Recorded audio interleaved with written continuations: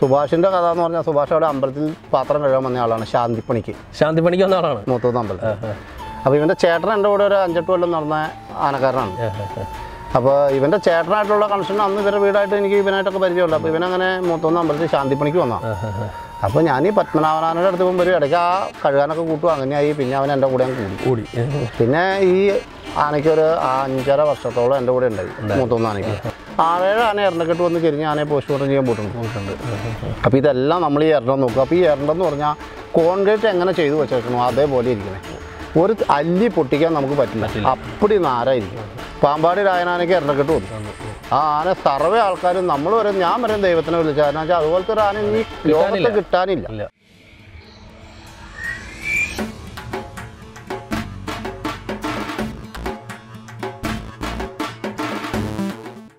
നമ്മുടെ സ്വന്തം തൃക്കാരൂർ വിനോദിയേട്ടന്റെ ജീവിത വിജയങ്ങളുടെ ആനവിശേഷങ്ങളുടെ നാലാം അധ്യായത്തിലേക്ക് നാലാം എപ്പിസോഡിലേക്ക് ഏവർക്കും സ്വാഗതം. ദിനേട്ടാ നമസ്കാരം. അപ്പം ഹൗസിയ മഹേഷ് ആനയിലെ ആറര വർഷത്തെ വളരെ വിപ്ലവകരമായ ആ ഒരു ജീവിതം. അതിനുശേഷം ഏത് ആനയിലേക്കാണ് പിന്നെ പോയത്? ഹൗസിയ മഹേഷിൽ നിന്ന് മാറുന്നത് മൂത്തൊന്നും പത്മനാഭൻ. മൂത്തൊന്ന് പത്മനാഭനിലേക്ക്. എത്ര വർഷം ഉണ്ടായിരുന്നു മൂത്തൊന്നും പത്മനാഭൻ ഒരു ആറ് വർഷം. അടുത്തുണ്ടായി. ആറ് വർഷം അടുത്തുണ്ടായി. ആറ് വർഷം ഉണ്ടായി. എങ്ങനെയായിരുന്നു അവനുമായിട്ടുള്ള ആ ഒരു മൂത്തൊന്നും പത്മനാഭൻ എന്ന് പറഞ്ഞാൽ ഞാൻ പൗസ് ചെയ്ത് മാറി വീട്ടിൽ ഇങ്ങനെ നിൽക്കുമ്പോഴാണ് മൂത്തൊന്നങ്കാർ വന്ന് വിളിക്കുന്നത്. അപ്പോൾ ഇത് മാളയിൽ ഒരു ചെറിയ പ്രശ്നം ഉണ്ടാക്കിയിട്ട് മാളയിൽ വെടിവെച്ച് കെട്ടിയേക്കുമായിരുന്നു അപ്പോൾ എന്നെ വിളിച്ചിട്ട് ഇങ്ങനെ ഇത് പറഞ്ഞു. അപ്പോൾ ഇവർ വന്ന് എന്നോട് ഇങ്ങനെ പറഞ്ഞു കഴിഞ്ഞ് ഞാൻ ആന അടുത്ത് ചെന്നു. അപ്പോൾ ചെന്ന് കഴിഞ്ഞപ്പോൾ ആനയ്ക്ക് എറണ്ട പോണില്ല. ആന ഇപ്പോൾ ഈ തലേ ദിവസം ചെറുതായിട്ട് മളയിൽ ഓടി ഈ വെടിയൊക്കെ വെച്ചതിന്റെ ആ ഒരു ഇതും കൊണ്ട് അസ്വസ്ഥതയായിട്ട് പോയത്. പിന്നെ അങ്ങനെ അന്നേരം കുറച്ച് വാഴ ഇതൊക്കെ ഇട്ട് കൊടുത്തപ്പോൾ തിന്നുണ്ടായി. അങ്ങനെ വാഴയൊക്കെ ഇട്ട് കൊടുത്തു വെള്ളമൊക്കെ കൊടുത്ത് അങ്ങനെ ഗിരി ഡോക്ടർ നമ്മുടെ പറവൂരത്തെ ആ ഗിരീഷ് ഡോക്ടർ വന്ന് നോക്കി. അങ്ങനെ മരുന്നും കാര്യമൊന്നും ഇതിന് വലിയ കാര്യമില്ല. ഇല്ല. എന്നാലും ഒരു ചെറിയ ലൂസ് ആവാനുള്ള ഇതൊക്കെ ചെയ്ത് അങ്ങനെ രണ്ടു ദിവസം കഴിഞ്ഞ് ഇരണ്ടം പോയി. അപ്പോൾ ആനയ്ക്ക് ചെറുതായിട്ട് കന്നം തന്നെ ഉണ്ടായി. അപ്പോൾ അവിടെ പിന്നെ അപ്പോൾ അങ്ങനെ നിർത്തി ഒന്ന് ഒലിപ്പിക്കാൻ നോക്കി. ഒരു പത്ത് മുപ്പത്തഞ്ച് ദിവസം അവിടെ നിന്ന് ഒലിച്ചു ആനയ്ക്ക്. അപ്പോൾ ഞാനവിടെ താമസിച്ചു. അവർ ആന കെട്ടിയ ഒരു മാഷിന്റെ വീട്ടിലാണ് അവിടെ താമസിച്ച് പത്ത് മുപ്പത്തഞ്ച് ദിവസം ഒലിച്ചു കഴിഞ്ഞിട്ട് പിന്നെ അവിടെ നിന്ന് ആന കഴിക്കാൻ അമ്പലത്തിൽ ചെന്ന് ഇതിന്റെ കാര്യങ്ങളൊക്കെ സംസാരിച്ച്. വേറെ ഒന്നും സംസാരിച്ചിട്ടുണ്ടായാലും ഇവർ ചെല്ലാൻ പറഞ്ഞിട്ടാണ് പോയത് അങ്ങനെ അമ്പലത്തിൽ ചെന്ന് അന്ന് സോമ സെക്രട്ടറിയാണ്. പിന്നെ അവിടുത്തെ ഡ്രൈവർ ബിനോയ് എന്ന് പറഞ്ഞ പുള്ളിയുണ്ട്. പുള്ളി ബിനോയ് നമ്മുടെ പഴയ സുഹൃത്താണ്. ബിനോയ് വിളിച്ചാൽ മുഖാന്തരമാണ് പോണേ. അപ്പോൾ ചെന്ന കാര്യങ്ങൾ സംസാരിച്ചു. അവർ കുഴപ്പമൊന്നുമില്ല എന്ന് പറഞ്ഞു. ആന കഴിച്ചാൽ അമ്പലത്തിലെ പരിപാടി എടുത്ത് കൊടുത്താൽ ഈ നാട്ടിലേക്ക് കൊണ്ടുപോകാൻ പറഞ്ഞു. അപ്പോൾ ഇതങ്ങനെ വലിയ പരിപാടിയൊന്നും എടുക്കണില്ല. അമ്പലത്തിൽ എവിടെയെങ്കിലും പരിപാടിക്ക് പോയ ഓട്ടവും ചെറിയ ഓട്ടോഷോത്തിലൊക്കെ ആയിട്ട് അങ്ങനെ ചെറിയ ചെറിയ പ്രശ്നങ്ങളാണ്. അപ്പോൾ അവരെന്നെ വിളിച്ച് പറഞ്ഞു. അപ്പോൾ ഞാനങ്ങനെ കാര്യങ്ങൾ സംസാരിച്ചു. അവിടെ ചെന്ന് നമ്മുടെ കൂടെ ഒരു അനീഷ് എന്ന് പറഞ്ഞ പയ്യനുണ്ടായി. പിന്നെ ഒരു വിഷ്ണു ഉണ്ടായി. ഇപ്പോൾ ഇങ്ങനെയല്ല വേറൊരു വിഷ്ണു ഉണ്ടായി. അപ്പോൾ വിഷ്ണു ഞങ്ങൾ മൂന്ന് പേരുണ്ടായി. ഞങ്ങൾ അവിടെ നിന്ന് ആന കഴിച്ചു. നേരെ മൂത്തുനിന്ന് അമ്പലത്തിൽ കൊണ്ടുവന്ന് തൊഴിയിച്ചു. നടക്കുവാണ്. അപ്പോൾ ഒക്കെ മാളയിൽ നിന്ന് നടന്ന് മൂത്തോന്നത്തേക്ക് വന്നു. ആ മൂത്തോന്ത് തൊഴിച്ച് പിറ്റേ ദിവസം നേരെ മൂത്തോന്ന് പെരുമ്പാർക്ക് വന്നു പോന്നു. നേരെ പെരുമ്പാവൂർ വേങ്ങൂർ വന്നു. അങ്ങനെ പിന്നെ വേങ്ങൂർ ചെറിയ തടിപ്പണി കാര്യങ്ങളൊക്കെ ആയിട്ട് അങ്ങനെ നിന്നു. സീസൺ ആകുമ്പോഴാണ് പിന്നെ അമ്പലത്തിലേക്ക് ചെല്ലുള്ളൂ. ചെല്ലുള്ളൂ. അപ്പോൾ ഈ ആന എന്ന് പറഞ്ഞാൽ ഒരു ശകലം വികൃതിയാണ്. വികൃതി എന്ന് പറഞ്ഞാൽ ഒന്നേ ഒരു കുട്ടിക്കുറുമ്പ് വിട്ടുമാറാത്ത ഒരു ആനയാണ്. പിന്നെ രണ്ടാമെന്ന് പറഞ്ഞാൽ ഞാൻ ആന കഴിക്കുമ്പോൾ ആനയ്ക്ക് രണ്ട് നീരാണ്. നീര. ആന വർഷത്തിലും നീര വേനക്ക് നീര. എന്ന് വെച്ചാൽ വേനക്ക് ഇവർ കെട്ടിക്കഴിയുമ്പോൾ ചങ്ങല കടന്ന് പൊട്ടി ആനയുടെ ഒലിവ് നിൽക്കും. നിൽക്കും. അപ്പോൾ ആ ഒലിവ് നിന്ന് കഴിയുമ്പോൾ ഇവർ അഴിക്കും. പിന്നെ കുറേ ആന നന്നാവുമ്പോൾ ആനയ്ക്ക് കോളായി ചെറിയ ആന പ്രശ്നങ്ങളായി. അങ്ങനെ കയറ്റി നിർത്തുമായിരുന്നു ഞാനപ്പോൾ അഴിച്ച ആന കൊണ്ടുവന്ന് ആ കൊല്ലം നമ്മുടെ ഈ പള്ളത്താങ്ങളുടെ താലപ്പൊലി വരെ എടുത്തു. പള്ളത്താങ്ങളുടെ താലപ്പൊലി കഴിഞ്ഞ് ആനയ്ക്ക് കണ്ണം തന്നെ തുടങ്ങി. നേരെ ആനയെ കൊണ്ടുവന്ന് കെട്ടി. അങ്ങനെ ആറ് വർഷം അങ്ങനെ തന്നെയാണ് ചെയ്യുന്നത്. പള്ളത്താങ്ങളുടെ താലപ്പൊലി കഴിഞ്ഞാൽ കിട്ടും. അപ്പോഴത്തേക്ക് ഒരു അമ്പത് അമ്പത്തഞ്ച് പരിപാടി എടുക്കും. പിന്നെ അവിടുത്തെ പൂരമൊക്കെ എടുക്കും. അവിടെ സംബന്ധിച്ച് പപ്പനാവനാന പൂരം എടുത്തിട്ട് വേണ്ട അമ്പലത്തിൽ അവരുടെ പൂരം എടുത്താൽ മതി. അതാണ് അവരുടെ ഇതുള്ളൂ. അല്ലാതെ പപ്പനാവൻ പൂരം എടുത്താൽ അതിന്റെ വരുമാനമൊന്നും അവർ പ്രതീക്ഷിക്കാറില്ല. അപ്പൊ അപ്പോൾ ഞാൻ തടി വലിക്കാൻ പോയി കഴിഞ്ഞാൽ തടി വലിച്ചാൽ അതിന്റെ ചിലവ് കണക്കാനുള്ളൂ അല്ലാതെ അമ്പലത്തിലേക്ക് ഒന്നും കൊടുക്കണ്ട. കൊടുക്കണ്ട. അതിന്റെ കാര്യങ്ങൾ നടന്നു. നമ്മൾ വലിയ അമ്പലത്തിൽ നിന്ന് വലിയ കാശും മേടിക്കാറില്ല തടി വലിക്കാൻ വരുമ്പോൾ അങ്ങനെയായിട്ട് ഒരു ആറ് വർഷം അവിടെ ഉണ്ടായി. ആറ് വർഷം. അപ്പോൾ ആന എന്ന് പറഞ്ഞാൽ എപ്പോഴും നമ്മൾ ശ്രദ്ധിച്ച് കൈകാര്യം ചെയ്യണം. ആനയുടെ കോൾ സമയത്ത് മഹാ ഒരു ഇതാണ്. കോളിൽ ഇത്രയും പാവ ആനയില്ല. പിന്നെ അതിൽ നിൽക്കുമ്പോൾ എനിക്ക് ഏറ്റവും വലിയൊരു അനുഭവം എന്ന് വെച്ചാൽ ഞാൻ നീരിൽ നിന്ന് അയച്ച് ഇതിനെ അമ്പലമുറ്റത്ത് കെട്ടി. അമ്പലമുറ്റത്ത് കെട്ടിയിട്ട് നേരെ വീട്ടിലേക്ക് വന്നു. അപ്പോൾ എന്റെ മൊബൈലിൽ ഒരുത്തം വിളിച്ച് ഭയങ്കര തെറി. ഒരുപാട് തെറി പറഞ്ഞു. അപ്പം ഞാൻ ചോദിച്ചു എന്താണ് കാര്യം? ഏതാണെന്ന് ചോദിച്ചിട്ട് ആളൊന്നും പറയണില്ല. അപ്പം ഞാൻ നേരെ നമ്മുടെ കോതാലം പോലീസ് സ്റ്റേഷനിൽ കൊണ്ടുപോയി പരാതി കൊടുത്തു. അപ്പോൾ പുള്ളി പറഞ്ഞു നാളെ വൈകി ഇന്ന് വൈകുന്നേരം അഞ്ച് മണിക്ക് മുമ്പ് ആളെ ഇതാക്കും എന്ന് പറഞ്ഞു. അപ്പോൾ എന്നോട് അഞ്ച് മണിക്ക് ചെല്ലാൻ പറഞ്ഞു. അപ്പോൾ എനിക്ക് രാവിലെ ആന അടുത്തേക്ക് ചെല്ലാൻ പറ്റിയില്ല. ഞാനപ്പോൾ അഞ്ച് മണിക്ക് പോലീസ് സ്റ്റേഷനിൽ പോയിരുന്നപ്പോൾ ഏഴ് മണിയായപ്പോൾ ഇത് വെള്ളത്തൂലുള്ളൊരു പുള്ളിയാണ്. എന്നെ വിളിച്ചതല്ല. പുള്ളി പുള്ളി വേറൊരാളെ വിളിച്ച് തെറി പറഞ്ഞാണ് ഒരു ആനക്കാരൻ തന്നെയാണ് വെള്ളത്തോലുള്ളത് അപ്പോൾ പുള്ളി വേറെ ആളെ വിളിച്ചിട്ട് തെറി പറഞ്ഞതാ. പക്ഷേ ഈ വന്നത് മൊത്തം എനിക്കട്ടാ എനിക്ക്. എന്റെ പേര് പറഞ്ഞിട്ട് ഇപ്പം മനസ്സിലാവണില്ല. ഇവന് വെള്ളമായിരുന്നു. ഇവനോടെ കൊണ്ടുവന്ന് വന്നപ്പോൾ സി ഐ സംസാരിച്ച് കാണണമെന്നൊക്കെ പറഞ്ഞപ്പോൾ ഞാൻ പറഞ്ഞു എനിക്ക് പരിചയമുള്ള ആളാണ് സാറേ. അപ്പോൾ പുള്ളി എന്റെ കാൽ പിടിക്കാൻ പറ്റാൻ തയ്യാറാണ്. സംഗതി ഇത് പറഞ്ഞു തെറ്റ് പറ്റി പുള്ളിക്ക്. അപ്പോൾ ഞാൻ പറഞ്ഞു എനിക്ക് വേറെ ഇതൊന്നും ഇല്ലാന്ന് പറഞ്ഞു. അപ്പോൾ കുറച്ച് പേടിപ്പിച്ച് അങ്ങനെ ഇങ്ങനെയൊക്കെ ആയിട്ട് അങ്ങനെ വിട്ടപ്പോൾ ഒരു ഏഴര എട്ട് മണിയായി. അപ്പോൾ ഞാൻ പോലീസ് സ്റ്റേഷനിൽ നിന്ന് ഇറങ്ങാൻ നിൽക്കുമ്പോൾ അവിടെ ആന കഴിഞ്ഞു പോയി എന്ന് പറഞ്ഞ് ഫോൺ വന്നു. അവർ അവർ തന്നെ അന്ന് മൊബൈൽ അടിച്ചറിയാം നേരെ കോൾ വന്നു. ഞാനപ്പോൾ ഇങ്ങനെ പ്രശ്നമാണല്ലോ എന്ന് ഓർത്ത് താഴെ ഇറങ്ങി വേഗം തന്നെ ഒരു കാറ് വിളിച്ചു. അവിടുന്ന് പോരും. അപ്പോൾ എന്നോട് അവിടുത്തെ കാര്യസ്ഥൻ ചോദിച്ചു എന്താ ചെയ്യേണ്ടതെന്ന് ചോദിച്ചു? ഞാൻ പറഞ്ഞു കാര്യസ്ഥനൊന്നും ചെയ്യണ്ട. പഴം മേടിച്ചിട്ട് കൊടുക്കുക ആന അമ്പലത്തിൽ തന്നെ കിട്ടും അപ്പോൾ ആന റോട്ടിൽ കൂടെ പോയി കറങ്ങി അമ്പലത്തിൽ വന്നു. അവിടെ കിട്ടെ ഞാനപ്പോൾ എത്തുമെന്ന് പറഞ്ഞു. വേറെ ഇവരെന്തെങ്കിലും ചെയ്യാൻ പോയാൽ പിന്നെ പ്രശ്നങ്ങളാവും. അങ്ങനെയൊന്നുമില്ലല്ലോ. അങ്ങനെയൊന്നും നേരെ തിരിച്ച് അവിടെ വന്നു. വന്നു ആനയെ വിളിച്ചു. ആനയെ കൊണ്ടു കിട്ടിയപ്പോൾ പോലീസും എല്ലാം ഉണ്ടായി. അപ്പോൾ വന്നു. നേരെ ആനെ വിളിച്ചു ചോദിക്കുക ആനയ്ക്ക് പ്രശ്നമില്ല. ഞാൻ ചെന്ന വഴിക്ക് ഏലസെ പിടിച്ചു. നേരെ അപ്പുറത്തേക്ക് മാറ്റി ആനയെ കൊണ്ട് അവിടെ കെട്ടി കാര്യങ്ങൾ ചെയ്തു. അപ്പം ഇതിന് ചെറുതായിട്ട് അയച്ചു കളയുന്ന ഒരു പരിപാടിയുണ്ട്. അപ്പോൾ ഞാൻ ഈ പോയി ആ നീരിന്ന് അയച്ച് ആനയാണല്ലോ എന്ന് ഓർത്ത് ഇച്ചിരി അഡ്ജസ്റ്റ്മെന്റിലാണ് കെട്ടിയത്. പിന്നെ പിറ്റേ ദിവസം രാവിലെയും വരാമെന്ന് ഓർത്തു. അപ്പോൾ ഇത് രണ്ട് ഫ്രണ്ടിൽ അയച്ച് കഴിഞ്ഞപ്പോൾ ബാക്കിൽ അയച്ച് കഴിഞ്ഞിട്ട് ആന പോയി. പോയി. അങ്ങനെ ഒരു അനുഭവം മൂത്തോന്നുണ്ടായി പക്ഷെ അന്നും ഒരു സ്ഥലത്തും പോയില്ല. വേറെ കുഴപ്പമൊന്നും ഉണ്ടായില്ല. തലേന്ന് നേരെ അമ്പലത്തിൽ വന്നു. ഈ കാര്യസം പഴം ഇട്ട് കൊടുത്തു. അത് നിന്ന് അവിടെ നിന്നു ഞാൻ ചെന്ന് പിടിച്ചു കൊണ്ടുപോയി കെട്ടി. അങ്ങനത്തെ ഒരു ആനയാണ്. ആന ചെറിയ ചെറിയ പ്രശ്നങ്ങളൊക്കെ ഉണ്ട്. പക്ഷെ എന്നാലും നമ്മൾ ശ്രദ്ധിച്ച് കൈകാര്യം ചെയ്താൽ കുഴപ്പമില്ല. കുഴപ്പമില്ല. അപ്പോൾ അങ്ങനെ ഒരു ആറ് വർഷം നിന്നു. അത് കഴിഞ്ഞ് എനിക്ക് എന്റെ കൈക്കൊക്കെ ഒരു ബലക്കുറവ് വന്നു. അങ്ങനെ ബലക്കുറവ് വന്ന് ഞാൻ ആശുപത്രി കിടന്ന് അങ്ങനെ അവിടെ നിന്ന് ഒഴിവായതാണ്. ഒഴിവായതാണ്. അതുവരെയും നല്ല കമ്മിറ്റിക്കാരും ആനയാണെങ്കിൽ നല്ല ആനയാണ്. എന്നാ വെച്ചാൽ ചെറിയ ആന ഏതിലേയും പോവും അതിന് പറ്റണ തടി വലിക്കും അതിന് പറ്റണ എഴുന്നള്ളിപ്പിന് എഴുന്നള്ളിപ്പിനൊക്കെ എല്ലാ ആനെ കൂടി ചിട്ടോട്ടമൊന്നുമില്ല ആടും കളിക്കുകയൊക്കെ ചെയ്യും. അതാ അവിടെയാണ് നോക്കുകയും വേണ്ട. അവരുടെ അമ്പലത്തിൽ ഭയങ്കര സ്വാതന്ത്ര്യമാണ് പത്ത് ദിവസം ഉത്സവമാണ്. പത്ത് ദിവസം ഉത്സവത്തിന് ആ നാട്ടിലൊക്കെ പറയാം. അപ്പോൾ ഈ പറക്കി പോകുമ്പോൾ ഈ ചകിരി കിടക്കണ കുഴിയുണ്ട്. അതിന്റെ മുകളിൽ കൂടി ഇത് ഏറ് പിടിച്ച് കടന്നു പോകും. ഒന്നും ലോത്തൊരു ആന കടന്നു പോവില്ല. ചകിരിക്കുഴിയുടെ മുകളിൽ കൂടെ ഒരു വീട്ടിലേക്ക് ഇത് ഏറ് പിടിച്ച് കടന്ന് ആ വീട്ടിൽ പോയി പറയെടുത്തിട്ട് തിരിച്ചു തിരിച്ചു വരും. നമ്മൾ കൊമ്പലൊന്നും പിടിക്കാതിരുന്നാൽ മതി. ആന തന്നെ ഞാൻ കടന്നു വന്നുള്ളൂ അത്രയ്ക്ക് നിശ്ചയ ഏരിയ മൊത്തം ആനയ്ക്ക്. പിന്നെ ചെറുപ്പത്തിൽ ഒരു മാഷ അവിടെ നടക്കിരുത്തിയതാ. അന്ന് മുതൽ അവർ അന്ന് മുതൽ എന്റെ വീടിന്റെ അടുത്തുള്ള ആനക്കാരാണ് കൂടുതൽ കയറിയത്. നമ്മുടെ പശു തങ്കപ്പഞ്ചേട്ടനും പാലും കൃഷ്ണനും ഇവരൊക്കെയാണ് കൂടുതൽ കയറിക്കൊണ്ടിരുന്നത്. അന്നും എനിക്ക് ഇഷ്ടമുള്ള ഒരു ആനയായിരുന്നു കാരണം വെച്ചാൽ അന്നും കാണാൻ നല്ല സെറ്റപ്പുള്ള ഒരു ആനയാണ് അങ്ങനെ ഒരു പണി വന്നപ്പോൾ പോയി. അതിനെ കഴിച്ചു അങ്ങനെ ഒരു ആറ് കൊല്ലം നമ്മളവിടെ കൊണ്ടു നടന്നു. കൊണ്ട് നടന്നു. അതിനിടയ്ക്ക് ഈ പറഞ്ഞ മാതിരി കുറേ സ്ഥലത്ത് പരിപാടികളുണ്ടായി. പണിയുണ്ട് കാര്യങ്ങളുണ്ട് അങ്ങനെ ഇങ്ങനെ. പിന്നെ ഞാൻ അതിനുള്ള പ്രത്യേകത എന്ന് വെച്ചാൽ അതിനെ എന്നോ വേങ്ങൂര് വൈകുന്നേരം പണി കഴിഞ്ഞ് വരുമ്പോൾ തോട്ടി കളിക്കാൻ വിടും. ഇത് അവിടെ കിടന്ന ഒരു അരമണിക്കൂർ കളി മറിഞ്ഞ് കളിച്ച് കുറേ ആൾക്കാരൊക്കെ ഉണ്ടാവും. അതൊക്കെ കളിയൊക്കെ കഴിഞ്ഞ് നേരെ കയറി വരും. ഒന്ന് ചെറുതായിട്ട് കഴിയുക അങ്ങനെയൊക്കെ ആയിട്ട് ഒരു തമാശ കളി പോയിക്കൊണ്ടിരുന്ന ഒരു ആനയാണ് അത്. ആനയാണ്. അത് അന്ന് എത്ര വയസ്സുണ്ടാവും ആനയ്ക്ക്? ആനയ്ക്ക് ഇപ്പോഴും ഒരു മുപ്പത്തഞ്ച് വയസ്സ് പ്രായം മുപ്പത്തഞ്ച് മുപ്പത്തേഴ് വയസ്സ് പ്രായം വരും. പ്രായമുള്ളൂ. ആ അത് ഈ കർണാടക ആനയാണ് കർണാടക. പിന്നെ ഈ പറഞ്ഞ ഒരുപാട് വളരില്ല. ഇല്ല. പ്രായം കുറവാണ് അപ്പോൾ അത് അന്ന് വന്നപ്പോൾ അത് അന്ന് വന്നപ്പം ചെറുതാണ്. ഇപ്പോഴും അതിന് മാത്രം വലിപ്പമൊന്നും പറയാനില്ല. ഒരു ചെറിയ ആന തന്നെയാണ് ഇപ്പം മൂത്തകുന്നം പത്മനാഭൻ എന്ന് പറഞ്ഞ ദേവസ്വം ആനയാണ്. പത്മനാഭൻ എന്ന് പറഞ്ഞാൽ അത് ഒരു എസ് എൻ ഡി പി അമ്പലമല്ല ഹിന്ദു മഹ ഇതാണ്. എന്ന് പറഞ്ഞാൽ എല്ലാ ഹിന്ദുക്കളുടെ ഒരു ഇതാണ്. എച്ച് എൻ ഡി പി സഭ എന്ന പേര്. എല്ലാ ഹിന്ദുക്കളുടെ ആയിട്ടുള്ള ക്ഷേത്രമാണ്. പിന്നെ അവിടുത്തെ ഇതായിട്ട് കിട്ടിയേക്കണ കാരണം അമ്പലത്തിലാണ് എല്ലാ കാര്യവും. എല്ലാ കാര്യവും. പിന്നെ ആനയുടെ വരുമാനമൊന്നും അവർക്ക് വിഷയമല്ല. ആന എങ്ങനെ നിൽക്കണം എന്നുള്ളൂ. അല്ലാതെ വരുമാനത്തിലൊന്നും പ്രതീക്ഷിക്കുന്ന അമ്പലമല്ല. അല്ലാതെ തന്നെ വരുമാനമുള്ള അമ്പല. ആ, അമ്പലം. ആ. ഇന്ന് ഒരുമാതിരി കോളേജ് വിദ്യാഭ്യാസ സ്ഥാപനം ഒക്കെ ഏറ്റവും നല്ല ഇതിൽ നടക്കുന്ന ഒരു സ്ഥാപനം അത്. അവിടെ. പിന്നെ ഒരേ വർഷം ഒന്നര വർഷം കൂടുമ്പോൾ ഭരണസമിതി മാറും. പുതിയ ആൾ വന്നാലും ആന എല്ലാവർക്കും കാര്യം അവിടെ ഉള്ളത് വെച്ചാൽ അവരുടെ ആനയാണല്ലോ. എല്ലാ നാട്ടുകാരുടെ ഇതായ കാരണം നല്ല ഇതും വേറെ നമുക്ക് വേറെ വിഷയങ്ങളോ കാര്യങ്ങളോ ഇപ്പം കുട്ടിക്കുറുമ്പാണെന്ന് പറഞ്ഞു. ആ- ആന. ആ. കുറുമ്പുള്ള ഇച്ചിരി കുറുമ്പുള്ള ആനയാണെന്ന് പറഞ്ഞു. അത്യാവശ്യം ആട്ടവും ചാട്ടവും ഒക്കെ ഉള്ളതാണ്. എങ്കിലും ഒരു സീസണിൽ ഏകദേശം കോൾ എടുക്കുന്നതിന് മുമ്പ് അമ്പത്തഞ്ച് പരിപാടിയോളം അമ്പത് പരിപാടിക്ക് മുകളിൽ എടുക്കുമെന്നും പറഞ്ഞു. അങ്ങനെ പൂരപ്പറമ്പുകളിൽ ഇവനെ കൊണ്ട് ചെന്ന് നിൽക്കുമ്പോൾ ആ ഒരു കുട്ടിക്കുറുമ്പ് കാണിക്കലും പരിപാടികളും ഒക്കെ നമുക്കായിട്ട് എന്തെങ്കിലും ബുദ്ധിമുട്ടുകൾ പുറത്ത് പൂര എടുക്കാൻ പോയപ്പോൾ ഉണ്ടാക്കിയിട്ടുണ്ടോ? ഇല്ല അതിനെ ഞാൻ എവിടെ ചെന്നാലും ഇച്ചിരി കൂടുതൽ സ്വാതന്ത്ര്യം കൊടുക്കും. കാരണം വെച്ചാൽ ഞാനൊരു അമ്പലത്തിൽ ചെന്നാൽ കോലിട്ടുണ്ട് ചുമ്മാ അവിടെ നിർത്തും. അപ്പോൾ ഇത് ആടി കളിക്കുന്ന കാണുമ്പോൾ അവിടെ എത്ര വലിയ ആന വന്നാലും അതിലും കൂടുതൽ ആൾക്കാർ ഇതിനെ കാണാൻ ഇതിന്റെ അടുത്ത് നിറച്ച ആളായിരിക്കും. ആളാ അപ്പോൾ നമുക്കൊരു സന്തോഷം. അതെന്ന് വെച്ചാൽ വേറെ വലിയ നല്ല ആളുകൾ ഇപ്പോൾ ഉണ്ട്. അതിലും കൂടുതൽ ആൾ നമ്മുടെ ആനയുടെ അടുത്താണ് ഇതെങ്ങനെ ആടാന്ന് പറഞ്ഞ ഒരു ഐശ്വര്യമുള്ള ആട്ടോ ആട്ടോ. ഇങ്ങനെ ആടി കളിച്ച ഒരു ഇതിൽ നിൽക്കും. ഇങ്ങനെ എഴുന്നള്ളിച്ച് നിൽക്കുമ്പോൾ എന്ന് പറഞ്ഞാൽ വലിയ വേറെ കുഴപ്പമൊന്നുമില്ല.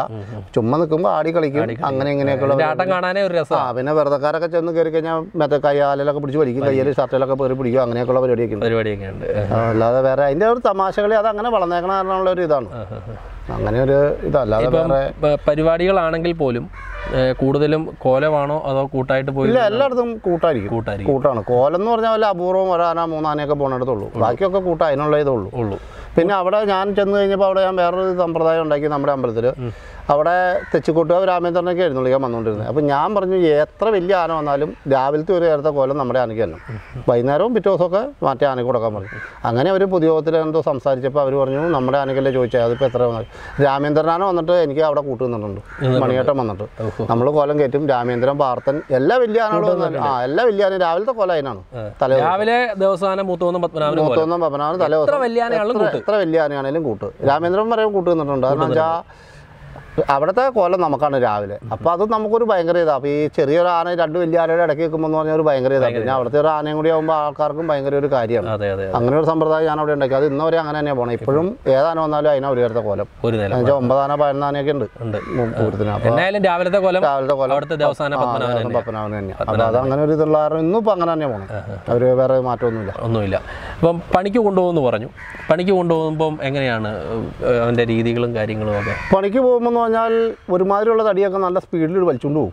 തടി കൂടുതൽ കണ്ടാൽ എങ്ങനെയും വലിച്ചു തീർക്കണം എന്നുള്ളൊരു ചിന്തയുള്ളൂ അല്ലാതെ നമ്മളെ പൈസക്കുള്ള കള്ളത്തരം കാണിക്കണോ വേറെ പരിപാടി ഒന്നുമില്ല നമ്മുടെ മുകളിലേക്ക് കയറി കൂടുതലുള്ള അപ്പോൾ എന്റെ കൂടെ അന്ന് ഈ മൂത്തൊന്നാനയ്ക്ക് എങ്ങനെയെന്ന് പറഞ്ഞാൽ നമ്മളിപ്പോൾ തിരുവാണിക്കാവാനെ കൊണ്ടുനടക്കുന്ന സുഭാഷാണ്. സുഭാഷ്.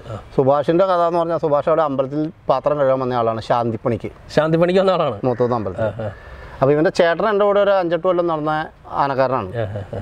അപ്പോൾ ഇവന്റെ ചേട്ടനായിട്ടുള്ള കണക്ഷൻ അന്ന് ഇവരുടെ വീടായിട്ട് എനിക്ക് ഇവനായിട്ടൊക്കെ പരിചയമുണ്ട്. അപ്പോൾ ഇവനങ്ങനെ മൂത്തൊന്ന് അമ്പലത്തിൽ ശാന്തിപ്പണിക്ക് വന്നാ അപ്പോൾ ഞാൻ ഈ പത്മനാഭനാഥന്റെ അടുത്ത് പോകുമ്പോൾ ഇടയ്ക്ക് ആ കഴുകാനൊക്കെ കൂട്ടും അങ്ങനെയായി. പിന്നെ അവൻ എന്റെ കൂടെ കൂടി. കൂടി. പിന്നെ ഈ ആനയ്ക്ക് ഒരു അഞ്ചര വർഷത്തോളം എന്റെ കൂടെ ഉണ്ടായി. മൂത്തൊന്ന് ആനയ്ക്ക്. പിന്നെ ഞാൻ അതിൽ നിന്ന് നായരമ്പലത്തിലേക്ക് മാറിയപ്പോൾ നായരമ്പലത്തും ഉണ്ടായി. പിന്നെ രാമനിലേക്ക് പോയപ്പോൾ രാമനിലും ഉണ്ടായി. ഇപ്പം അത് കഴിഞ്ഞ് ദൈവനേക്ക് തിരുവണിക്കാവാനെ അയച്ച. ഒരു മൂന്നാൽ കൊല്ലമായി സുഖമായിട്ട് പോകുന്നു. കാര്യങ്ങൾ ഇങ്ങനെ നടക്കുന്നു. അപ്പോൾ ഒരുപാട് കഷ്ടപ്പെട്ട് പഠിച്ചവനാണ്. അപ്പോൾ അത് കാരണം അതിന്റെതായ ഇപ്പം അവൻ നല്ല രീതിയിൽ പണി ചെയ്യേണ്ട ഒരു വിഷയം അവനോടില്ല. ഇല്ല. അപ്പോൾ അങ്ങനെ ആ അമ്പലത്തിൽ നിന്ന് വിളിച്ചുകൊണ്ട് വന്നൊരു പയ്യനാണ് ഈ സുഭാഷ്. സുഭാഷ്. അങ്ങനെ പല ഇതാണ് അതുപോലെ തന്നെ പാമ്പാടിയാനാണ് രതീഷ്. രതീഷ്. ഈ മൂത്തൊന്നാനയ്ക്ക് എന്റെ കൂടെ വന്നിട്ട് പെരുമ്പാവൂർ നടന്നിട്ട് എറണാകുളത്ത് പോയിട്ട് തിരിച്ച് ഫസ്റ്റ് വന്ന അവസാനം കണക്ക് കൂട്ടണം പെരുമ്പാവൂർ നടന്ന് പുന്നെങ്കിൽ ദിവ്യവണ്ണിയുടെ അമ്പലത്തിൽ പോയി ആന വിട്ട് അത് കഴിഞ്ഞ് നേരെ മൂത്തോന്നം വരെ നടന്നു. അന്ന് ഇറങ്ങി അന്ന് അത്രയും വഴി നടന്നു പണി പഠിച്ചു ഇറക്കണ രതീഷ്. രതീഷ്. പമ്പാടി ആനയ്ക്ക് പാമ്പാടിയാനൊക്കെയുള്ള അപ്പോൾ എന്ന് പറഞ്ഞാൽ അന്നൊക്കെ നടപ്പാ. ഇപ്പം പിന്നെ സുഖം. എന്നാ വെച്ചാൽ വണ്ടി കയറി നേരെ പോയാൽ മതി. പിന്നെ മൂത്തോന്നാനെ എപ്പോഴും നമ്മൾ ശ്രദ്ധിച്ച് കൈകാര്യം ചെയ്യണം. കൈകാര്യം ചെയ്യണം എന്ന് പറഞ്ഞാൽ ആനയ്ക്ക് നീരിന്റെ കോളായ ആന നോക്കിയില്ല ആന മേത്തേക്ക് കയറും. ഇപ്പം ഈ തവണ അവർക്ക് പറ്റിയ ഒരു അബദ്ധം അത് തന്നെയാണ്. ആന ചങ്ങല കിടന്ന് പൊട്ടി ഒലിവ് ക്ലിയർ ആയില്ല. ആന അയച്ചു ശ്രദ്ധിക്കാതെ പോയാണ് ആനക്കാരൻ. എന്തോ അബദ്ധം പറ്റിയതാണ് ഇത്തവണ തവണ ഇപ്പോൾ ആ സംഭവം നടന്നത്. സംഭവം നടന്നത്. ഞാൻ മൂത്തൊന്ന് തന്നപ്പം പുള്ളോടും പറഞ്ഞു ആന ഒലിവ് തീർന്നിട്ട് മാത്രം അയച്ചാൽ മതി. ഞാനവിടെ കിട്ടുമ്പോൾ തൊണ്ണൂറ് ദിവസം ആനയ്ക്ക് ഒലിക്കും. ആ ഒലിവ് കഴിഞ്ഞ് കഴിഞ്ഞ് നമ്മൾ എന്നോ ആന ഷൂസ് ഒന്ന് ഏൽപ്പിക്കുക കഴിക്കാം. പിന്നെ ഞാനൊരു പത്ത് പതിനഞ്ച് ദിവസം അവിടെ നോക്കിയിട്ടൊക്കെയാണ് പുറത്തേക്ക് പോരുള്ളൂ. പുറത്തോട്ട് പോരുള്ളൂ. അവർക്ക് അതിനെ സംബന്ധിച്ച് പ്രശ്നമല്ല. എത്ര ദിവസം നിന്നാലും ഒരു വിഷയമില്ലാത്ത തന്നെയാണ് അപ്പോൾ അത് കാരണം നമ്മളത് നോക്കി അങ്ങനെ നിന്നു. ഒന്ന് കഴുകി ഇതൊക്കെ കഴിഞ്ഞ് വർഷത്തിലോ ചികിത്സ കഴിഞ്ഞ് നേരെ പെരുമ്പാർക്ക് വരും അങ്ങനെ ഒരു ആറ് വർഷം സുഖമായിട്ട് കൊണ്ടുവരുന്ന ആറ് വർഷം. ഈ ആറ് വർഷത്തിന്റെ ഇടയ്ക്ക് പിന്നെ ആനയുടെ ഒരു ഐശ്വര്യം എന്താണെന്ന് വെച്ചാൽ ഒരു രൂപ നമുക്ക് കിട്ടിയാൽ അത് നമ്മുടെ കയ്യിൽ നിന്ന് അനാവത്തായിട്ട് ഒരു സ്ഥലത്തും പോകും പോവില്ല. അത്ര ഐശ്വര്യമാണ്. കാരണം വെച്ചാൽ നമ്മൾ പോയി ആയിരം രൂപ കിട്ടിയാൽ ആയിരം രൂപ നമ്മുടെ വീട്ടിൽ എല്ലാ കാര്യവും നടക്കും. നടക്കും. അതിനകത്ത് വീട്ടിലേക്ക് ചെല്ലുമ്പോൾ കൊച്ചിന് സുഖമില്ല അല്ല അല്ലെ ഇങ്ങനെ ഒരു പ്രശ്നമില്ല ഞാൻ ആ ആനയിൽ നിന്നപ്പോൾ എനിക്ക് ഒരുപാട് കാശും അതുപോലെ കൂടെ വെക്കണവർക്കും കാര്യങ്ങൾക്കും ഒരു വിഷയം ഉണ്ടായിട്ടില്ല. ഐശ്വര്യങ്ങൾ ഐശ്വര്യം മാത്രമേ ഉള്ളൂ. അത്രയ്ക്കൊരു ഐശ്വര്യമുള്ള ആന. ഐശ്വര്യമുള്ള ആനയാണ്. എന്തോരം രൂപ നമുക്ക് കിട്ടിയാലും അത് നമ്മുടെ പ്രയോജനത്തിലെത്തും എന്ന് വെച്ചാൽ ഞാൻ ഈ ആറ് വർഷം നിന്നു എന്ന് പറഞ്ഞാൽ അത്യാവശ്യം നമ്മുടെ എല്ലാ കാര്യങ്ങളും നടന്നു. അതിനകത്ത് നടന്നു പോയൊരു ആനയാണ് അതുപോലെ ആനയ്ക്കാണേലും ഇനിയിപ്പോൾ ഒരു പരിപാടിയില്ല ചുമ്മാ നിൽക്കുമെന്ന് പറഞ്ഞാൽ ആരെങ്കിലും ഒരു വണ്ടിയെങ്കിലും തന്നു എന്ന് പറഞ്ഞ് നമ്മളെ വന്ന് വിളിക്കും. വിളിക്കും. നമ്മൾ എന്ന് കഴിയുമ്പോൾ അഞ്ഞൂറ് രൂപയെങ്കിലും കിട്ടും. അന്ന് ആനയുടെ കാര്യത്തിനുള്ള കാശ് അതും ഉണ്ടാവും. അത്രയ്ക്ക് ഐശ്വര്യവും കാര്യങ്ങളും ഉള്ള ആനയാണ് ഉള്ള ആനയാണ്. പത്മനാഭന്റെ കൂടെ നടന്ന് എനിക്ക് ഏറ്റവും അഭിമാനം എന്ന് പറഞ്ഞാൽ അവിടെ എനിക്ക് പത്ത് ദിവസം ഭംഗിയായിട്ട് പരിപാടി എടുക്കാൻ പറ്റി. പറ്റി. ഒരു പ്രശ്നമില്ലാതെ മറ്റേ അവിടുത്തെ പരിപാടി ഇടയ്ക്ക് ഇതൊന്ന് ഓടും. എന്തെങ്കിലുമൊക്കെ ഇത് കുട്ടികളി കാണിക്കണേ നമുക്ക് ഒരു കുഴപ്പമില്ലാതെ അവിടെ ഭംഗിയായിട്ട് പരിപാടി എടുക്കാൻ കഴിയും. അതുപോലെ ചെറായി ഗജമേള അങ്ങനെ കുറേ പരിപാടികൾ നല്ല പരിപാടികളൊക്കെ നമുക്ക് പങ്കെടുപ്പിക്കാൻ കഴിയും. കഴിഞ്ഞു. അതുപോലെ ഇപ്പോൾ തടി പിടിക്കാൻ പോയാൽ തടി നമ്മൾ കാണണ്ട. എത്ര വലിയ തടിയാണേലും ചെന്നു അതിന് പറ്റണ രീതിയിൽ നമ്മൾ ആ സാധനം ഒരു പടങ്ങൊക്കെ ഇട്ട് കൊടുത്ത് അത് വലിച്ചുകൊണ്ട് വരും. വലിച്ചുകൊണ്ട് വന്നോളൂ. ആ കള്ളത്തരോ വേറെ ഇതൊന്നും ഒന്നുമില്ല. അങ്ങനെയൊക്കെ ഉള്ള കാര്യമുണ്ട്. ആ അതുപോലെ മറ്റുള്ള ആനക്കൂട്ടെല്ലാം അഴിക്കാനും വലിയ മല്ല ഉണ്ടാവില്ല. അവിടെ ഈ നമ്മൾ പോയി ഒരു മാസം നിന്ന ആനയായിട്ട് ഒരു ചെറിയ ഇതുണ്ടായ ഒരു നാലഞ്ച് അടിയും വെച്ച് കൊടുത്ത് അയച്ചുകൊണ്ട് വന്ന അയച്ചുകൊണ്ട് പോകാം ഇപ്പോൾ ചേട്ടൻ പറഞ്ഞു പിന്നെ മുത്തൂന്നാനെ അഴിക്കാൻ ചെല്ലുമ്പോൾ എരണ്ടക്കെട്ടിന്റെ ലക്ഷണങ്ങളാണ്. രണ്ട് ദിവസം കഴിഞ്ഞ് ഗിരീഷ് ഡോക്ടറുടെ സാന്നിധ്യത്തിൽ എരണ്ടം പോയി എന്ന് പറഞ്ഞു. ഇന്നത്തെ കാലഘട്ടത്തിൽ ആനകൾ നേരിടുന്ന ഏറ്റവും വലിയ വെല്ലുവിളിയാണ് എരണ്ടക്കെട്ട് എന്ന് പറയുന്നത്. ഒരുപാട് ആനകൾക്ക് എരണ്ടക്കെട്ട് വരുന്നു. ചില ആനകൾ ഭാഗ്യം കൊണ്ട് രക്ഷപ്പെട്ടു പോകുന്നു. ചില ആനകൾ കൈവിട്ടു പോകുന്നു. ഈ എരണ്ടക്കെട്ട് എന്ന് പറഞ്ഞ ഈ വ്യാധി ഉണ്ടാകുന്നത് അത് ആനക്കാരുടെ ശ്രദ്ധക്കുറവാണോ അതോ മറ്റെന്തെങ്കിലും ഇതും കൊണ്ടുണ്ടാകുന്നതാണ് ഈ എരണ്ടക്കെട്ടെന്ന് പറഞ്ഞ ഒരു ഇതെന്ന് പറഞ്ഞാൽ പണ്ട് കാലം മൂലം ആനകളൊക്കെ ഉണ്ട്. അപ്പോൾ നമ്മൾ അന്ന് കണക്കൂട്ടുന്നതെന്ന് വെച്ചാൽ ആന പട്ട താങ്ങണേന്റെയും പല പല ഇതുണ്ട്. പക്ഷേ ഇന്ന് കുട്ടിയാനകൾക്ക് വരെ എണ്ണക്കെട്ട് വന്നിട്ടുണ്ട്. പിന്നെ വണ്ടി യാത്ര എണ്ണക്കെട്ടിന്റെ ഒരു ഭാഗമാണ്. എന്ന് വെച്ചാൽ ഈ ഗ്യാസും എയറൊക്കെ പിടിച്ച് നിൽക്കുന്നതിന്റെ ഒരു പ്രശ്നങ്ങളും പറയുന്നുണ്ട്. പക്ഷേ ആനയ്ക്ക് എണ്ണക്കെട്ട് തന്നെ ആനക്കാരന്റെ ഒരു ഉപേക്ഷക്കുറവല്ല. അല്ല. ഒരാന നമ്മൾ കൊണ്ടുവന്ന് നിർത്തി രാത്രി വലിച്ചു വാരി തിന്ന് ആ പട്ട ദഹിക്കാതെ കണവണാന്ന് വലിച്ചു വാരി തിന്നണേ ആനയാണ് ആനയ്ക്ക് എണ്ണം മുഴുവൻ. പിന്നെ ആനക്കാർ ശ്രദ്ധിക്കേണ്ട കേസ് എന്താണെന്ന് വെച്ചാൽ നമ്മളിപ്പോൾ ഒരു ആനയെ കൊണ്ടുവരുവാണ് ഒരു പത്ത് കിലോമീറ്റർ പതിനഞ്ച് കിലോമീറ്റർ വണ്ടിയിൽ വന്നു നമ്മൾ ആ വണ്ടിയിൽ നിന്ന് ഇറക്കി ഉടൻ തന്നെ അമ്പലത്തിൽ തിരക്കാണേലും പോയി വെള്ളം കൊടുത്ത് തണുപ്പിച്ച് അങ്ങനെയൊന്നും ചെയ്യരുത്. നമ്മളൊരു പത്ത് മിനിറ്റൊക്കെ നിർത്തി വെള്ളം കൊടുത്തു ഒരു പട്ടയൊക്കെ ഇട്ട് കൊടുത്തു ആന സമാനമായി കഴിഞ്ഞാൽ ആന പയ്യൊക്കെ തിന്നോളൂ. ആന ഈ വെപ്രാളത്തിന് വരുമ്പോൾ ഒരുപാട് വെള്ളവും വലിച്ചു വാരി കുടിക്കും. ആ പട്ടയൊക്കെ ഇട്ട് കൊടുക്കുമ്പോൾ വാരി വലിച്ച് തിന്നും. അങ്ങനെ തിന്നുമ്പോൾ ചവയ്ക്കാതെ വരുമ്പോഴുള്ള പ്രശ്നമുണ്ട്. പിന്നെ മെയിൻ ഈ അരവുറവിന്റെ ആണ് ഇത് വന്നെ. അല്ലാതെ ആനക്കാരുടെ ഉപേക്ഷക്കുറവ് തന്നെയല്ല. എന്നുവെച്ചാൽ ഒരുപാട് ആനകൾക്ക് വന്നുണ്ട് ഇപ്പം ഈ വർഷത്തിൽ എന്ന് പറഞ്ഞാൽ വണ്ടിയിലൊന്നും പോവാതെ ചുമ്മാ കെട്ടുന്നതിൽ തന്നെ നിൽക്കുന്ന ആനകൾക്ക് എണ്ണക്കെട്ട് വന്നു. വന്നു. ഞാൻ പണ്ട് ഇതുപോലെ കാണുമ്പോൾ ഈ ചെറുപ്പളശ്ശേരി മണികണ്ഠനാണ് ആലുവയിൽ വന്നു. അന്നൊക്കെ വന്നാൽ അത് ചുമ്മാ എട്ട് ദിവസം പരിപാടി എടുത്ത സ്ഥലത്ത് വന്ന് അതിനെ ഒരു എണ്ണം മുഴുത്തു പിന്നെ പിറ്റേ ദിവസം പോയി. അതിന്റെ പ്രായം ചെറിയ ആനയാണ്. അപ്പോൾ അതിനന്ന് അങ്ങനെ പോയി. അപ്പോൾ ഇത് ആനക്കാരുടെ ഒരു ഉപേക്ഷക്കുറവല്ല. അല്ല. ഇതിന് മാത്രം ഇന്നവരെ ഒന്നും കണ്ടുപിടിക്കാൻ കഴിഞ്ഞിട്ടില്ല. കഴിഞ്ഞിട്ടില്ല. ഞാൻ പല ഡോക്ടർമാരായിട്ട് വരെ സംസാരിച്ചിട്ടുണ്ട്. ഈ എരണ്ടക്കെട്ട് വന്നെ എന്തുകൊണ്ടാണെന്ന് അവർക്കും അറിയില്ല. ഇത് പോകാനുള്ള ഒരു സംവിധാനം ഇല്ല. ഇത് ആന സ്വയം മുക്കി ഇങ്ങനെ പോകണം. പിന്നെ ഈ മുക്കൽ പ്രശ്നം എന്താണെന്ന് വെച്ചാൽ കുറച്ച് കഴിയുമ്പോൾ ഇതിന്റെ നീര് വലിയും ഈ എരണ്ടത്തിന്റെ. അപ്പോൾ ആനയ്ക്ക് വേദന തുടങ്ങും. അപ്പോൾ ആനകൾ മുക്കില്ല. മുക്കില്ല. അതെന്നാ വെച്ചാൽ നമ്മുടെ എറണാകുളത്ത് ഷേണായിക്ക് ഒരു ആനയുണ്ടായി രാംപ്രസാദ്. അതൊരു കുറേ കാലം ആയി. അന്ന് അമേരിക്കയിൽ നിന്ന് ഡോക്ടറെ കൊണ്ടുവന്ന് മൈക്രോകോപ്പ് അങ്ങനെ എന്നാണ്ട് ഒരു സാധനം ആനയുടെ എരണ്ടവായിന്റെ ഉള്ളിൽ കൂടെ വരെയും കയറ്റി പരിശോധിച്ചു. എന്നിട്ട് പോലും ഒന്നും ചെയ്യാൻ കഴിഞ്ഞില്ല. കഴിഞ്ഞില്ല. അപ്പോൾ അത്രയ്ക്കുള്ള സംവിധാനമാണ്. നമുക്ക് ആനയുടെ ഇതിലുള്ളൂ കെട്ടിൽ അത് കഴിഞ്ഞൊരു ഇരുപത്തിരണ്ട് ദിവസം കഴിഞ്ഞപ്പോൾ ഈ ആന ചെരിഞ്ഞു. ചെരിഞ്ഞു. ചെരിഞ്ഞ് കഴിഞ്ഞ് നോക്കിയപ്പോൾ പ്ലാസ്റ്റിക് ബാഗിന്റെ അത്രയുള്ള രണ്ട് എരണ്ടാണ് മുഴുത്തന്നെ അന്ന് വണ്ടി യാത്രയൊന്നുമില്ല വഴിയടിച്ച് നടന്നു പോയൊക്കെ പരിപാടി എടുക്കുന്ന സമയമാണ്. അപ്പോൾ ഇതിന് മാത്രം ഒന്നും പ്രതിവിധിയില്ല. ഒന്നും പ്രതിവിധിയില്ല.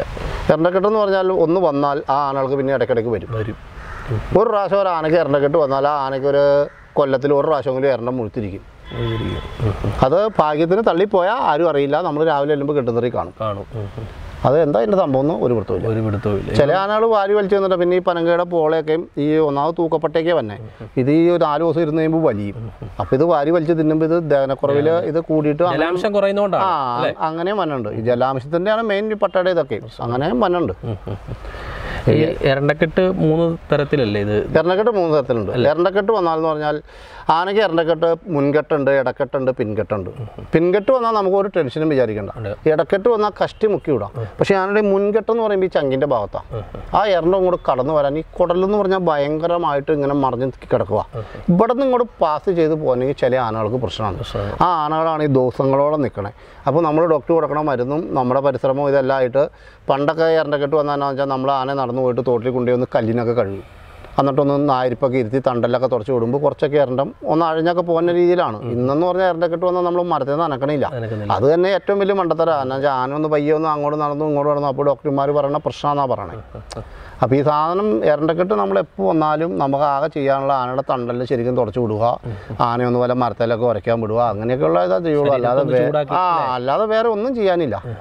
ഞാൻ പല ഡോക്ടർമാരോട് ഇതിനെക്കുറിച്ച് ചോദിച്ചു. എന്ന് വെച്ചാൽ നമുക്ക് ആനപ്പണിയിൽ നമ്മൾ ഒരുമാതിരി കാര്യങ്ങൾ പറഞ്ഞാൽ ഈ ഇരണ്ടക്കെട്ട് നോവ് തന്നെ ആനകളെന്ന് പറഞ്ഞാൽ പെട്ടെന്ന് വെള്ളം കുടിച്ചു അല്ലെങ്കിൽ അങ്ങനെ ഇങ്ങനെ നമുക്ക് വയറുവേനോ അനാരി വരാം. അതിനെന്തെങ്കിലും നമുക്ക് ചെയ്യാം. പക്ഷേ എരണ്ടക്കെട്ടിൽ ഒന്നും നമുക്ക് ചെയ്യാൻ അത് നമുക്ക് കൂട്ടലിൽ വരെ വന്നാൽ ഈ പറഞ്ഞ മാതിരി കൈയിട്ട് നമുക്ക് നുള്ളി പറിച്ച് കളയാം. കളയാം. അത് കൈയല്ലാതെ ഫ്ലാൻഡറോ അല്ലെങ്കിൽ കുടിലോ എന്തെങ്കിലുമൊക്കെ ഇട്ട് വലിച്ചാൽ അതിലും വലിയ പ്രശ്നം വേറെ വരും. നമ്മൾ കൈക്ക് തന്നെ പരമാവധി നഖമില്ലെങ്കിൽ അതിൽ വെട്ടിപ്പിടിച്ച് അതിന്റെ ഉള്ളിലൊരു ആദ്യം ഇങ്ങനെ ഇതായിട്ടാണ് കിടക്കണേ. ആ സാധനത്തിൽ ഇതൊക്കെ ഇട്ട് കഴിഞ്ഞാൽ പ്രശ്നമാണ്. എണ്ണക്കെട്ടിലൊന്നും ഞാൻ നിന്ന രണ്ടു മൂന്ന് ആനയ്ക്ക് എണ്ണക്കെട്ട് വന്നിട്ടുണ്ട്. പണ്ട് ബിസ്ക്കറ്റ് ആനയ്ക്ക് എന്നിട്ട് നാൽപ്പത് ദിവസം മുപ്പത്തെട്ട് ദിവസം ആ സാധനം നിന്നു. അന്ന് ഏറ്റവും വലിയ വൈദ്യനാണ് അന്ന് എന്റെയൊക്കെ ചെറുപ്പത്തിലുള്ള ഏറ്റവും വലിയ വൈദ്യനാണ് അറക്കപ്പുറമ്പി കാലടി. ആനയുടെ എല്ലാ ചികിത്സയും പുള്ളിയാണ്. അപ്പോൾ പുള്ളീനെ വരെ കൊണ്ടുവന്നു. അപ്പോൾ പുള്ളി എന്നോട് പറഞ്ഞു നമുക്ക് കൊടുക്കാനുള്ള മരുന്നുകളെല്ലാം കൊടുത്തിട്ടുണ്ട്. ഇനി എല്ലാം ദൈവത്തിന്റെ കയ്യിലാണ്. എന്ന്. പിന്നെ പരമാവധി വെള്ളം കുടിക്കുന്ന ആനകൾക്ക് ഒരു ശകലം അഴവ് കിട്ടും. ചില ആനകൾ വെള്ളം കുടിക്കില്ല. അതാണ് ഈ മെയിൻ പ്രശ്നം. വെള്ളം കുടിക്കുന്ന ആനകളാകുമ്പോൾ ഒരു ശകലം ലൂസൊക്കെ വരും. അങ്ങനെ ഇങ്ങനെ. അന്നൊക്കെ എന്റെ ചെറുപ്പത്തിൽ ഈ അവണക്കെണ്ണയൊക്കെയാണ് നമ്മൾ ഉള്ളിലേക്ക് കൊടുക്കണം. ഇപ്പോൾ വേറെ പല മരുന്നുകളും ഉണ്ട്. അപ്പോൾ അത് കാരണം അതൊക്കെ കൊടുക്കണു. അങ്ങനെ നിൽക്കണു ഇതിനൊന്നും ചെയ്യാനില്ല. ആനക്കാർക്കും ചെയ്യാനില്ല ഡോക്ടർക്കും ചെയ്യാനില്ല. ഇത് മരുന്ന് കൊടുത്ത് തന്നെ അഴഞ്ഞു പോന്നാലാണ് ഇതിന്റെ കളി നടക്കുള്ളൂ. അത് എപ്പോൾ പോരുന്നു എന്നൊന്നും പറയാൻ പറ്റില്ല. പറ്റില്ല. ഇപ്പം ഇത്രയും വർഷത്തെ അനുഭവ സമ്പത്തുള്ള വിനോദ് ചേട്ടന്. വിനോദ് ചേട്ടന്റെ കാഴ്ചപ്പാടിൽ എറണക്കെട്ടാണെങ്കിലും ആന ചികിത്സാ രംഗത്താണെങ്കിലും അന്നത്തെ കാലത്തും ഇന്നത്തെ കാലത്തും വിനോദിയേട്ടൻ എടുത്തു പറയാൻ പറ്റുന്ന ഡോക്ടർമാർ അല്ലെങ്കിൽ വൈദ്യന്മാർ ആരൊക്കെയാണുള്ളത്? ഞാൻ ഇപ്പോൾ ഈ പരിപാടിക്ക് ഇറങ്ങുമ്പോൾ എന്ന് പറഞ്ഞാൽ അന്ന് ആയുർവേദ ചികിത്സ എന്ന് പറഞ്ഞാൽ എറണാകുളം ജില്ലയിൽ ഈ അറക്കപ്പറമ്പിയാണ് ഏറ്റവും മുറ്റായിട്ടിരിക്കുന്ന കാലിന്റെ മഞ്ഞപ്പുറം പറ. പിന്നെ തമ്പുരാനുണ്ട്. പിന്നെ തൃശ്ശൂർ ജില്ലയിൽ നമ്മൾ പണിക്കർ സാറ് അങ്ങനെ ഈ ഡോക്ടർമാർ ഇപ്പോൾ എന്ന് പറഞ്ഞാൽ ഇപ്പോൾ സുനിൽ ഡോക്ടർ രാജീവ് ഡോക്ടർ എറണാകുളം ജില്ലയിൽ മറ്റേ ഇത് കോട്ടയത്ത് അങ്ങനെ മറ്റേ മറ്റേ രവി സാറ് അങ്ങനെ ഓരോ ഡോക്ടർമാരുണ്ട്. പക്ഷേ എത്ര ഡോക്ടർമാരുണ്ടെങ്കിലും ആനയുടെ ചികിത്സയ്ക്ക് ഇന്ന വരെ ഒന്നും കണ്ടുപിടിച്ചിട്ടില്ല. അതാണ് ഇതിന്റെ സത്യം. എന്നുവെച്ചാൽ ഒരു ആനയ്ക്ക് അസുഖം വന്നാൽ അത് എന്ത് അസുഖമാണ് എന്താ കാര്യം കണ്ടുപിടിക്കാനുള്ള സംവിധാനം നമ്മുടെ കേരളത്തിൽ ഇല്ല. കാരണം വെച്ചാൽ ഡോക്ടർമാരുണ്ട് അവരുടെ പഠിത്തവും കാര്യങ്ങളും ഇതൊക്കെ ഉണ്ട്. പക്ഷേ ഇത് എങ്ങനെ ഇതിന്റെ ഇതെന്ന് ആർക്കും മനസ്സിലാക്കാൻ പറ്റില്ല.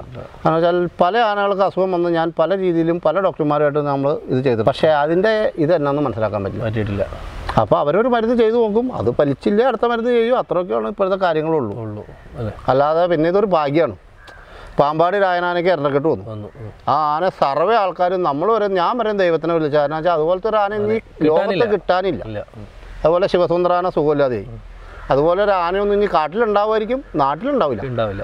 അപ്പോൾ ഇതിന് വന്നു ഇത് പോകുമ്പോൾ അതൊക്കെ ഒന്ന് രക്ഷപ്പെടണമെന്ന് നമ്മൾ ആഗ്രഹിക്കും പാമ്പാടി ആന എന്തോ കൈഭാഗ്യം കൊണ്ടും അന്ന് ഗിരി ഡോക്ടർ ലാസ്റ്റ് ചെന്നു. ഗിരി ഡോക്ടറിന്റെ സമയത്തിന്റെ ആണോ എന്താണോ അത് സംഗതി കുഴപ്പമില്ലാതെ വന്നു. അത് പത്ത് നാൽപ്പത് ദിവസം നിന്നു. അത് ആ ഈ നാൽപ്പത് ദിവസം നിൽക്കുമ്പോൾ ആരോഗ്യം കുറഞ്ഞ ആനയാണ് തളരും. തളരും. പിന്നെ ഒന്നും പറ്റാതെ.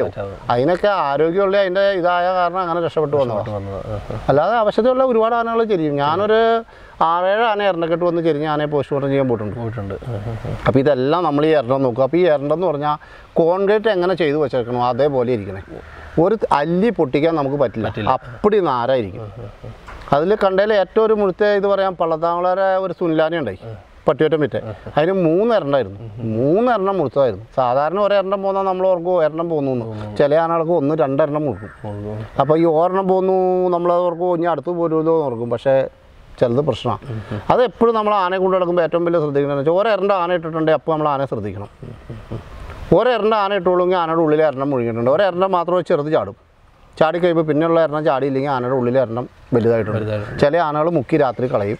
ചിലത് ഈ കിടന്നിട്ടൊക്കെ എണീക്കുമ്പോൾ തള്ളിപ്പോവും പക്ഷേ വല്ല പകലൊക്കെ ആണെങ്കിൽ നമുക്ക് കാണാം ഇത് എന്താണെന്ന് അറിയാൻ പറ്റും. രാത്രി ഇപ്പോൾ എണ്ണം വന്നോ ചാടിപ്പോയി കഴിഞ്ഞാൽ നമ്മൾ രാവിലെ വരുമ്പോൾ മുന്നിൽ ചോരയും വലിയ എണ്ണമൊക്കെ കിടക്കും. അങ്ങനെ ഒരുപാട് ആനകൾക്കുണ്ട്. ഉണ്ട് ഉണ്ടല്ലേ? എണ്ണക്കെട്ടൊരു നമുക്കൊന്നും പ്രതീക്ഷിക്കാത്ത ഒരു അസുഖമായി പോയിട്ടുണ്ട് മൂത്തൊന്നും പപ്പനാവൻ ഞാൻ ഈ പറഞ്ഞ കാര്യം ഞാൻ നിൽക്കുമ്പോൾ എണ്ണം മുഴുത്തിട്ടുണ്ട്. മൂത്തൊന്നും പപ്പനാവൻ. ഞാനൊരു ദിവസം വൈകുന്നേരം കെട്ടി വീട്ടിൽ വന്നു കഴിഞ്ഞപ്പോൾ ആനയ്ക്ക് എറണം മൂത്തൊന്നും പറഞ്ഞ് എന്നെ അമ്പലത്തിൽ നിന്ന് വിളിച്ചു. വിളിച്ചു. ഞാൻ എന്നിട്ട് ഇവിടുന്ന് അവിടെ ചെന്ന് പണിക്കർ സാറിനെ വിളിക്കണേ. അപ്പോൾ അന്ന് പണിക്കർ സാർ വന്നു. പണിക്കർ സാർ വന്നിട്ട് എന്നോട് പറഞ്ഞു മൂത്ത പനങ്കൈ തിന്നിട്ടാന്ന് പറഞ്ഞു. പണിക്കർ സാർ വന്നിട്ട് എന്നോട് പറഞ്ഞാണ് മൂത്ത പനങ്കൈ? അപ്പോൾ ഞാൻ പറഞ്ഞു സാറേ കൊലച്ച പനങ്കയാണ്. ആനകൾക്ക് ഇപ്പോൾ വെട്ടി നമ്മൾ കൊടുക്കണേ. പക്ഷെ സംഗതി ഇതാന്ന് പറഞ്ഞു. പക്ഷെ എന്തായാലും ഒരു മൂന്നാം ദിവസം ഭാഗ്യത്തിന് പോയി. അപ്പോൾ പോയപ്പോൾ എന്ന് പറഞ്ഞാൽ ഈ ആന ഈ പനങ്കയുടെ ഉള്ളിലുള്ള ആ പോളകളെല്ലാം വലിച്ചിട്ട് ചുമ്മാ ചവച്ചങ്ങ് തിന്നു. അതെല്ലാം കൂടി കെട്ടുകൂടിയതാ. ഞങ്ങൾ ഈ എണ്ണം ചാടിയപ്പോൾ എടുത്ത് പൊട്ടിച്ചു. പൊട്ടിച്ചു പൊട്ടിച്ചു നോക്കിയപ്പോ നോക്കിയപ്പോൾ ഈ വീതിയിൽ ഈ പോളയൊന്നും തേച്ചിട്ടില്ല ഈ ഉള്ളിലെ പോള ഇപ്പോൾ പോളയുടെ. അങ്ങനെയുള്ള ദഹനക്കോയത്തിലെ പ്രശ്നമുണ്ട്. അങ്ങനെയാന്ന് തോന്നാ എങ്ങനെയാണ് ഈ പത്മനാഭയിൽ നിന്ന് ഒഴിയുന്നത് എങ്ങനെയാണ്? പത്മനാഭയിൽ എന്ന് ഒഴിയെന്ന് പറഞ്ഞാൽ എന്റെ കൈക്ക് സുഖമില്ലാതെ. എനിക്ക് ഞാൻ ഈ പത്മനാഭൻ നിന്ന് ഒരു ദിവസം തോർത്ത് വെച്ചിട്ട് ഈ കൈക്കൊക്കെ ഒരു ചെറിയ ബലക്കുറവ് അപ്പോൾ പോളക്കുള ആന അജയൻ ചേട്ടന്റെ അടുത്ത് നിന്ന് ചെറിയ നീര് കിട്ടിയേക്കുക അപ്പോൾ ഈ അമരം മാറാൻ എന്നെ വിളിച്ചേക്കുക അപ്പോൾ ഞാൻ അങ്ങോട്ട് പോകാനായിട്ട് ചെന്ന പോളക്കുള ആനയുടെ അമരം മാറിയിട്ട് ചെറുകെട്ട് കെട്ടാൻ നോക്കിയപ്പോൾ എനിക്ക് കെട്ടാൻ പറ്റണില്ല. ബലലിനൊക്കെ ഒരു ബലക്കുറവ്.